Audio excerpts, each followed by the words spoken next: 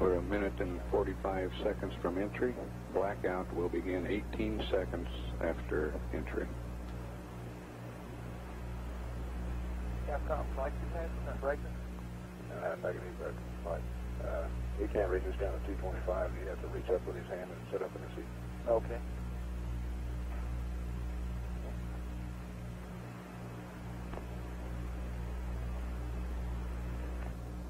Apollo 11 Houston, to river right.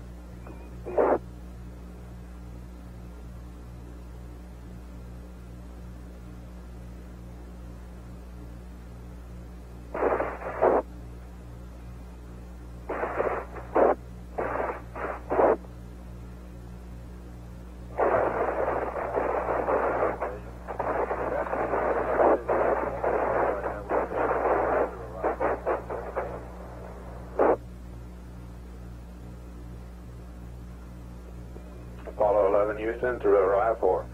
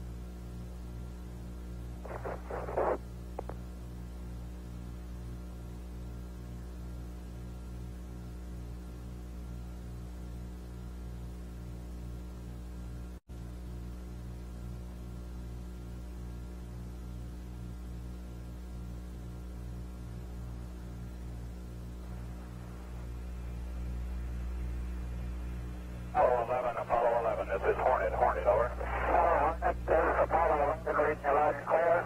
Our position 1330, 16915.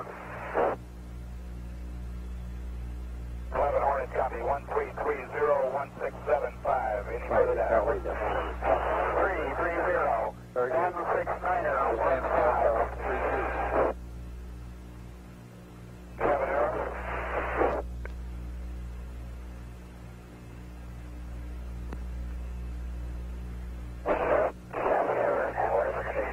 Hornet has voice contact. Aircraft reports visual with three full chutes. Condition of crew. Okay, uh, condition of crew, uh, 4,3500 feet on the way down. 11 is Hornet, copy. Flight recovery, flight 11 Hornet, what's down arrow, over. Okay, uh, our down here is our warranty longitude 1330, 16915. That's, uh, Uh, Hornet, later out.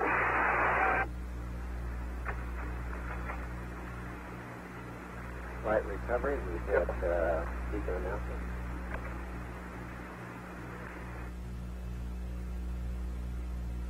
Straight game recovery. Hawaii Rescue 2, VHF beacon. Hornet reports spacecraft right on target point. Okay, Hornet, uh, Apollo 7 nine. Uh, Roger, don't shoot. Flight recovery, we have a visual on three chutes. Okay.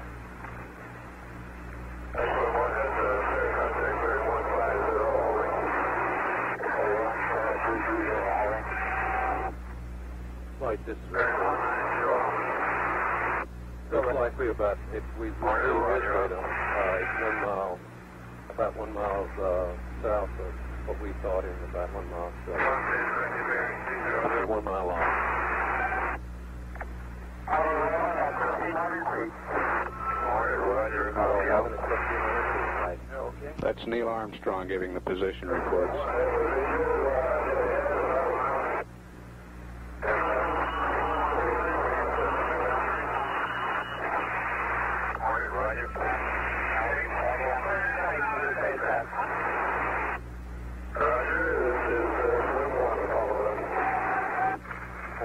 Stable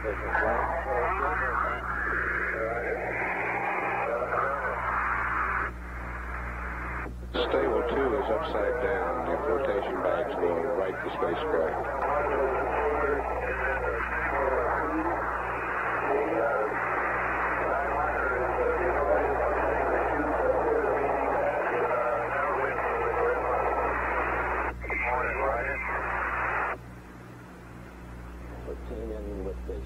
End down.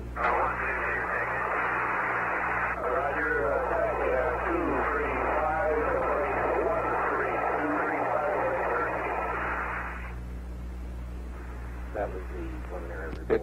Normally takes 8 to 10 minutes for the flotation bags to right the spacecraft.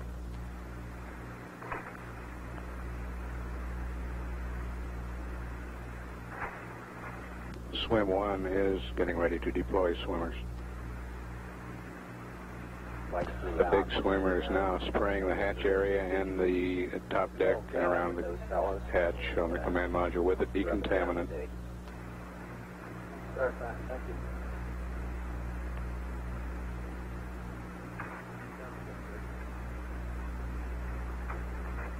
Apollo 11, this is Hornet. Uh, we're four miles out making our approach. Uh, we're on it, six at this time. I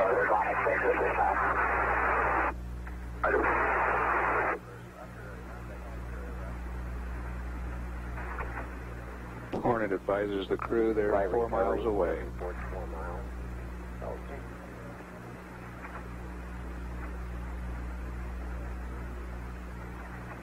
This is Florida 1, the big swimmer has, uh, the flotation tower and is on ramp number one.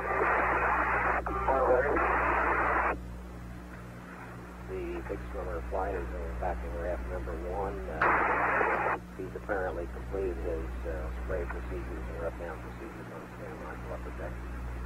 Okay.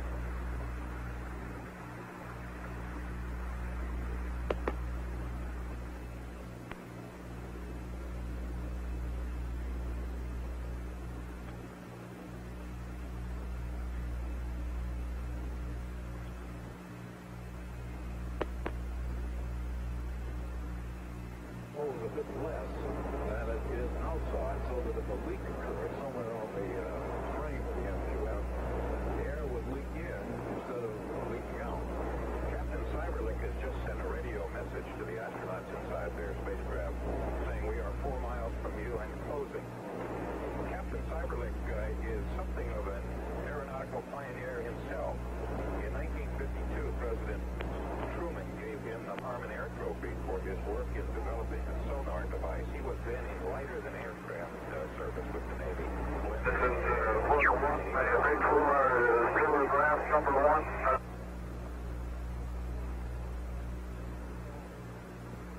Flight recovery uh, for your info now. After we get these fellows picked up, uh, we fly them straight back, of course, and uh, land, and they'll take the helicopter right down to the hangar deck and uh, move it over to the MQF and make the transfer.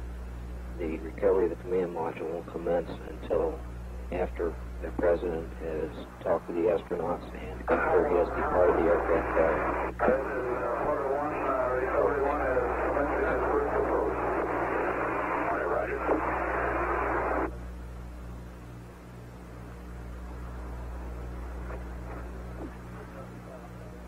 And recovery one going in now to pick up the first uh, astronaut. This is, uh, Florida 1, the head is leading lower. Roger.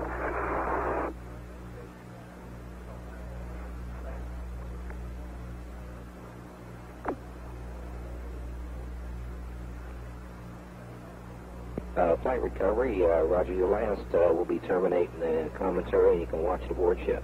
This is Florida 1, the head is at the ramp. Roger. The first astronaut is driving into the hatch.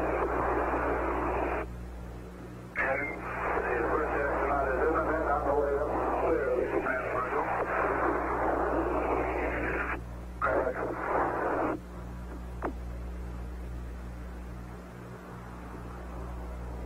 The first astronaut is on the way up.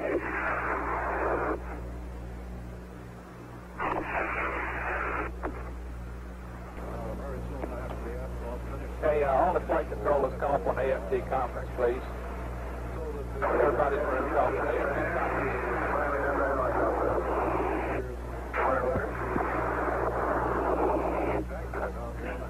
Fellas, this is uh, George H. talking. I'd like to make a couple of comments here. Uh, this is George H. here on the loop, fellas. And while the chopper is bringing the, the crew back to the carrier, I'd like to make a couple of comments. Uh, first of all, I think you all know that the events taking place here today uh, represent the culmination of the tremendous Apollo effort initiated by President Kennedy. I think your personal uh, dedication and professionalism displayed here in Mission Control have contributed very substantially to the posture that this country enjoys today in space exploration. Uh, as a personal uh, expression of our gratitude for your help, your cooperation and tolerance over the years, General Phillips and Chet Lee and Tom McMullen and I uh, have left in custody with uh, Flight Director Gene Kranz a small token of our esteem and thanks. Uh, lots of luck and don't choke on the bubbles.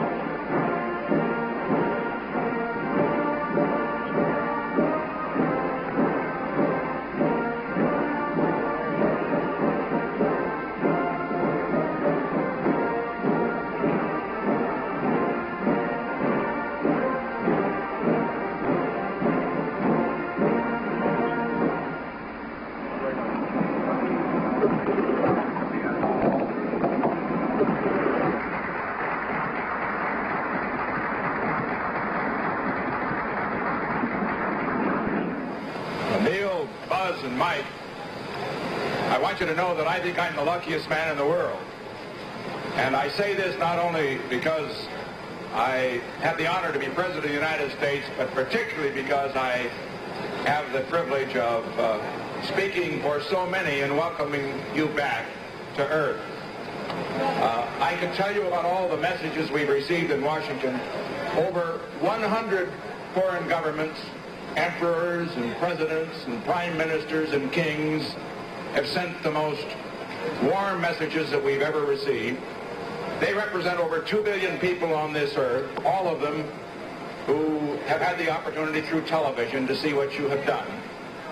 And then I also bring you messages from members of the cabinet and members of the Senate and members of the House and the Space Agency from the streets of San Francisco where people stopped me a few days ago and you all love that city, I know as I do. But most important, I had a telephone call yesterday. The toll wasn't incidentally as great as the one I made to you fellows on the moon. I made that collect incidentally, in case you didn't know. but I called uh, three, uh, in my view, three of the greatest ladies and most courageous ladies in the whole world today, your wives. And from Jan and Joan and Pat, bring their love and their congratulations. We think it's just wonderful that they could have participated at least through television in this return. We're only sorry they couldn't be here. And also, I've got to let you in a little secret. I made a date with them. Uh, I invited them to dinner on, on the 13th of uh, August, right after you come out of quarantine. It will be a state dinner held in Los Angeles. The governors of all the 50 states will be there, the ambassadors, others from around the world and in America.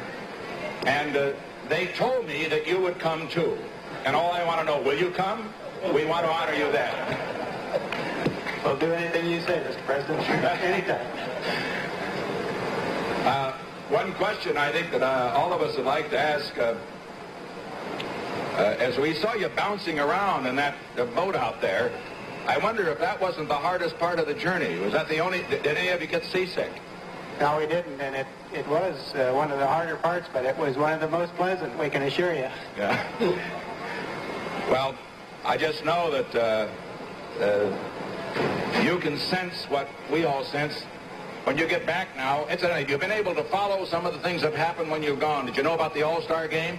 Yes, yes, sir. The uh, capsule communicators have been giving us uh, daily news reports. Yeah. Were you American League or National League? I'm a National League man. National. Nonpartisan, sir. Yeah, that's right. There's the politician in the group, right? We're sorry you missed that game. yes. Well, oh, you knew that too. You Yeah, really? we heard that uh, Yeah, the rain. the rain. Right. Well, we haven't learned to control the weather yet, but that's something we can look forward to as tomorrow's challenge. Right, right. Well, I can only summarize it because I don't want to hold you now. You have so much more to do. And gee, you look great. You feel as good as you Oh, look. Feel great. feel just perfect, Mr. Yeah, President. yeah. Are you? I understand you're. Frank Borman says you're a little younger by reason of having going into space. Is that right? Do you feel that way? A little younger? We're a lot younger than Frank Borman. There he is over there. Come on over, Frank, so they can see you. And you going to take that lying down? Are they young? it looks like he has aged in the last Yeah. uh, couple of weeks. Come on, Frank. Mr. President, the one thing I want to, you know, we have a, a poet in Mike Collins, and he really gave me a hard time for describing your words of fantastic and beautiful. And you were, I counted them, in three minutes up there, you used four fantastics and two beautifuls. Well, just let me close off with this one thing. I I was thinking as, as, as you know, as you came down, and we knew it was a success, and it had only been eight days, just, just a week, a long week, that this is the greatest week in the history of the world since the creation. Because as a result of what happened in this week, the world is bigger infinitely and also, as I'm going to find on this trip around the world, and as Secretary Rogers will find as he covers the other countries in Asia, as a result of what you've done, the world's never been closer together before. And we just thank you for that. And I only hope that all of us in government, all of us in America, uh, that as a result of what you've done, we can do our job a little better.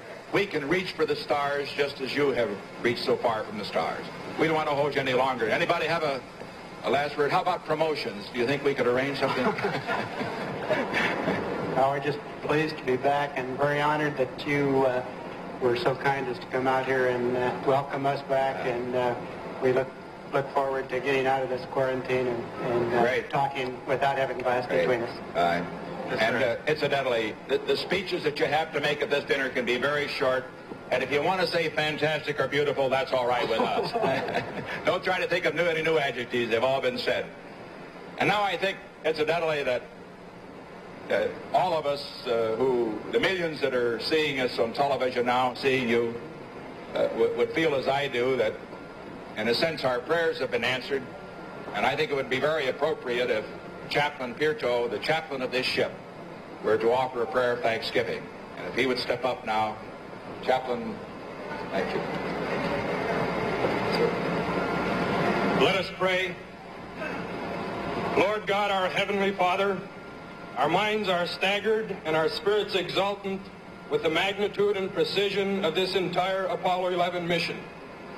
We have spent the past week in communal anxiety and hope as our astronauts sped through the glories and dangers of the heavens. As we try to understand and analyze the scope of this achievement for human life, our reason is overwhelmed with abounding gratitude and joy, even as we realize the increasing challenges of the future. This magnificent event illustrates anew what man can accomplish when purpose is firm and intent corporate. A man on the moon was promised in this decade, and though some were unconvinced, the reality is with us this morning in the persons of astronauts Armstrong, Aldrin, and Collins. We applaud their splendid exploits, and we pour out our thanksgiving for their safe return to us, to their families, to all mankind. Grant us peace, beginning in our own hearts, and a mind attuned with goodwill towards our neighbor. All this we pray as our thanksgiving rings out to thee in the name of our Lord. Amen. Amen.